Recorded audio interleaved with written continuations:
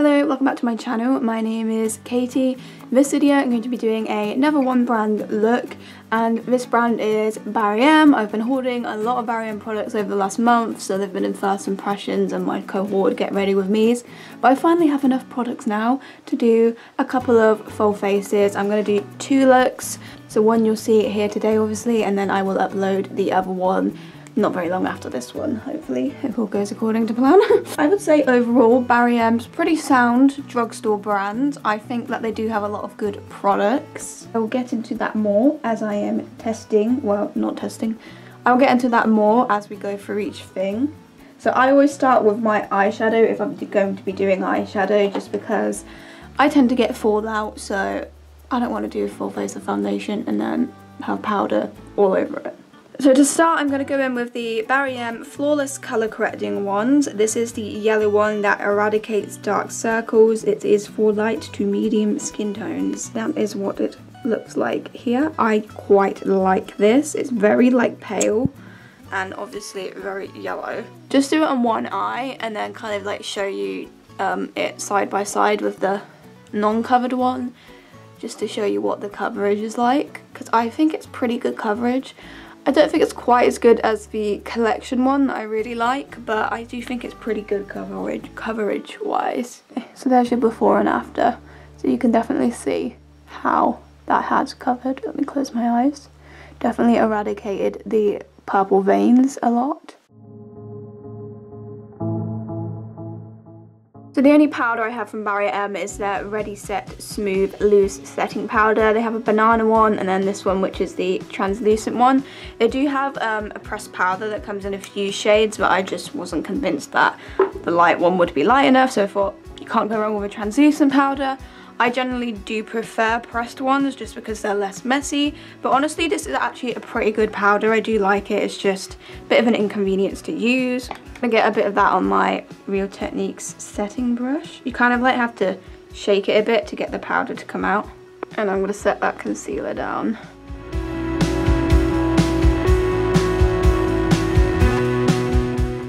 You know something I find really annoying? Um, when you just get all of your products for your Barry M video and then they release a new eyeshadow palette and a new foundation. So I don't have those for this video and I kind of like the look of them. So they had like a so they had this like really nice eyeshadow palette that they've just brought out which I would have actually quite liked to use in this video. Um, maybe I will get that at some point. And then they also came out with um, a liquid foundation of the all night long foundation stick which I will try at some point, but obviously not for these one brand looks. Um, but the eyeshadow palette I did get from Barry M is the Fall in Love eyeshadow palette, which I did use in my last first impressions. It is just some kind of warm toned matte, basic shades. I'm going to be using that for some transition shades, and I'm also going to be using one of the Dazzle Dusts. This is 22, it's the vibrant blue one, and I'm also going to use the holographic eyeshadow topper this one is in Supernova. But we're going to start with some transition shades. We're going to start with this light brown, kind of a grey toned brown colour up here. I'm going to start with this one for the crease.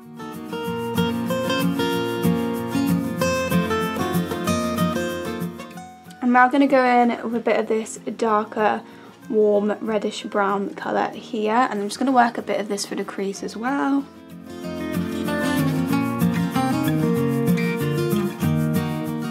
Go in with the dark greyish brown colour up here and I'm going to focus this on the outer third of the eye. We are going to do a cut crease shortly.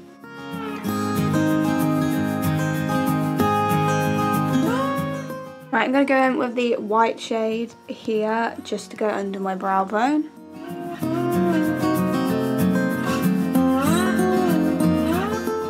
Now I'm going to go back in with the yellow colour corrector I'm going to get a little brush and I'm to try and cut my crease. I think I'll just do one eye at a time.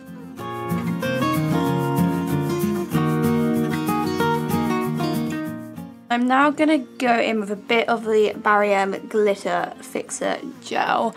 Um, you don't necessarily need these with the um, Dazzle Dust, but I think I'm just to use a little bit just to be safe, just over where I've put that concealer. I don't want too much just to give it something more to grab onto.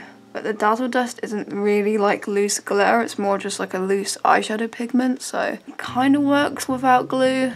So I'm going in with the Blue Dazzle Dust 22, I think the colour was. And I'm just getting a little brush and I'm going to use this to coat my whole lid. This is very pigmented and vibrant, I really like it.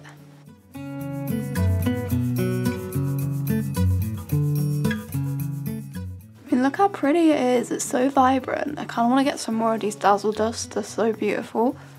And I'm going to go in with the holographic eyeshadow topper in Supernova. It's kind of like a greeny iridescent colour with lots of kind of other colour flecks in it. And I'm going to layer up quite a lot of this just in the kind of main centre.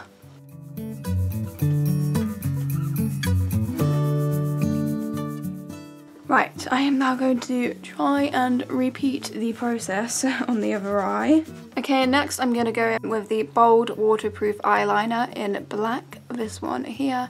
And I'm going to fill in my top and bottom waterlines.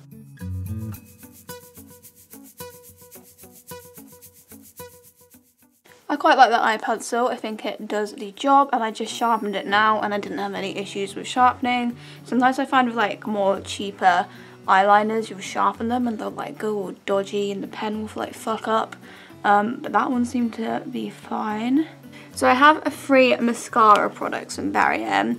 Um, first of all, I've got that Lash Saver Volumizing Growth Accelerating Lash Primer. And as for like regular mascaras, I got their feature length mascara, this one here. And I got the That's How I Roll mascara as well. In the past, I think I have tried the Lash Vegas one. Um, it used to be like a pink tube, but I think they like re-released it recently with a different formula. So it would be interesting to see if that one is any different because I actually remember really liking the old one. Um, as for these mascaras, I would definitely say I prefer the feature length one. I think this one has more impact. I've used the That's How I Roll one a couple of times now and it's just it's just not doing it for me. It's not giving me the volume that I look for. I do actually think that the lash primer does make a difference though. So I'm probably just going to use all of these and just build up a load of mascara to get a look here. So I'll start with the Lash Saver Primer. Yeah, I definitely do think this does add a little bit of extra oomph to your um, the mascara that you then go on the top of it with. If it actually accelerates lash growth. I have no idea about that. I've only used this a few times, so...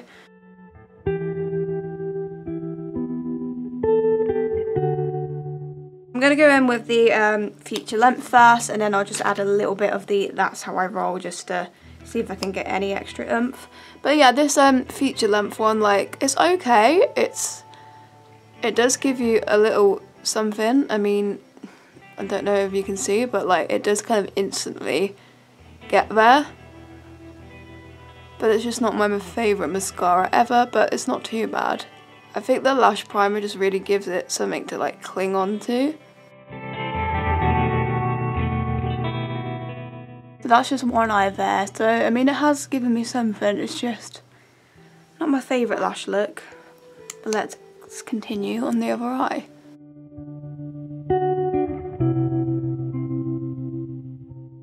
So I don't have a primer from Barry M. I wouldn't mind trying their Glowmance one. That one's got some good reviews, but um, I haven't got any for this video. Um, so I'm going to go straight into foundation. So I have got two foundations from them. I've got the Flawless Matte Finish one and I've got the foundation stick. And as I mentioned earlier, they did just bring out a, another liquid foundation that's apparently meant to be full coverage. So I will try that one at some point because I want to see. Um, I'm going to use the Flawless Matte Finish one for this video. This one is in the shade Porcelain, I believe. Yes, it's in Porcelain. It's not quite light enough for me, so I am going to have to cheat a little bit and just use a tiny bit of my Nip and Fab white mixer just so that we're not completely off colour. Quite like this foundation, it's definitely more on the light coverage side. You can build it up to kind of a low medium. It's got quite a nice finish though, it's not patchy, it's not clingy, lasts reasonably well. I like this foundation but if you're looking for something with a lot of coverage it won't be the one for you. But for those more light days, I like it. Okay, so that's the colour we've got going on here. So I'm just going to layer a load of this up on my face. So I've just now realised that I think I was going to use the colour correctors, but it's too late now. So we will use the colour correctors in the other video. I knew I was forgetting something.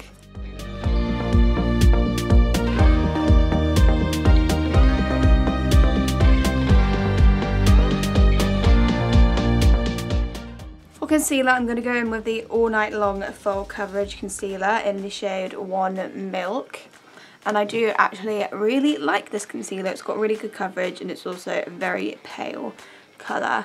I think I've already gone through a lot of this. I'm just going to put a a bit of this under my eyes and on any blemishes on my face and a bit on my nose.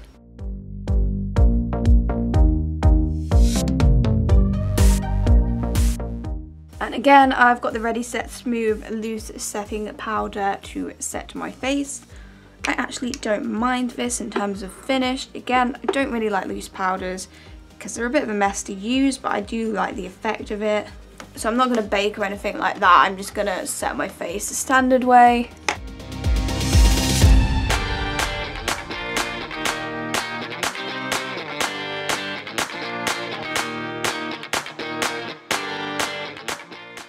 Okay, for bronzer, I'm going to go in with the Afterglow Light Bronzer, this one here.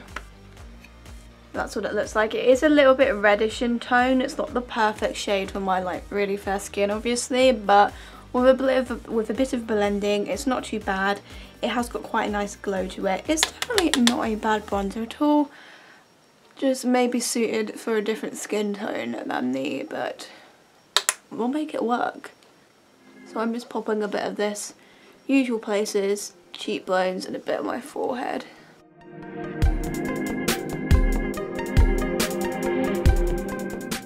Go into the illuminating highlighter palette and I'm going to use a little bit of the more bronzy shade at the end just to go over that bronzer, give it a bit more glow. I mean it's already pretty glowy enough as it is, but why not add a bit more?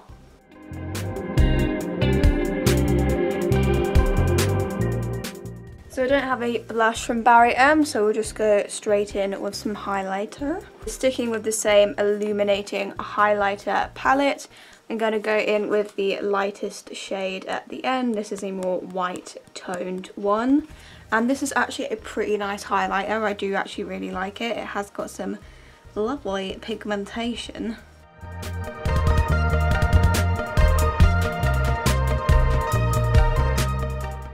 Now I'm just going to get off my foundation lips. So I'm just going to quickly brush through my brows for clear gel. I don't have a Barry M one. So I've got two eyebrow products from Barry M. I've got a pencil. This is the Brow Wow pencil and brush in medium dark. Looks like this. And then I've also got that Take a Brow Shape and Define Brow Gel in the shade brown. And I actually quite like both of these. So I'm going to start with the pencil and just fill in my brows.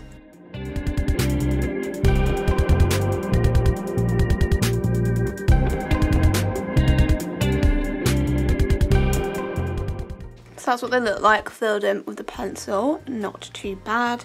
But I am going to go in with the gel just to set them into place.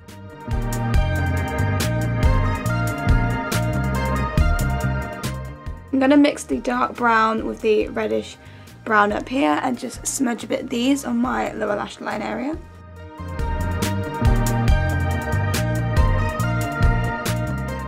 Going to go back into the highlighting palette and use the same highlighter I used on my face in my inner corner and a bit under my brow bone.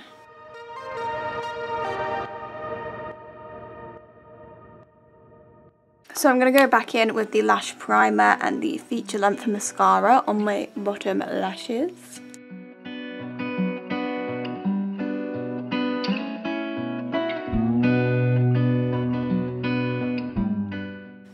Course I got a huge blob of mascara there. So to finish off I'm going to use one of the lip kits. Um, so I've got the Matte Me Up Matte Liquid Lip Paint. I believe the colour is So Chic. It's literally like a chocolatey brown colour. It's really pretty. And then it comes with a matching lip liner. So I'm going to use both of these together.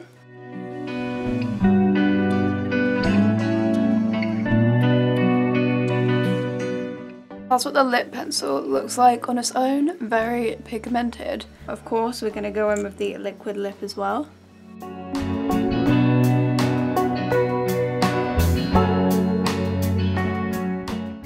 I really like this liquid lipstick, it's just so opaque, it's not patchy in the slightest, incredibly pigmented, and it's gorgeous.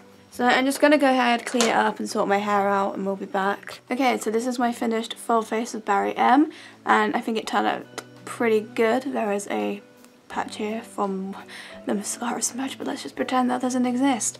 Um, but other than that, I'm quite happy with how the eyes turned out. I really like these lips and I think my base looks pretty good too.